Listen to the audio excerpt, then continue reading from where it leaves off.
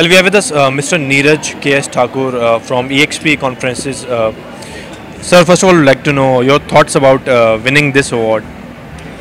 See, our company has been in this field for the past uh, 17 years, and uh, this is maybe the first time that the exhibition, this event particularly is mostly for the Exhibition Excellence Awards, but uh, this is the first time that uh, conference uh, excellence in conference management has also been added as one of the categories, and uh, we are very happy to have bagged it for the first time.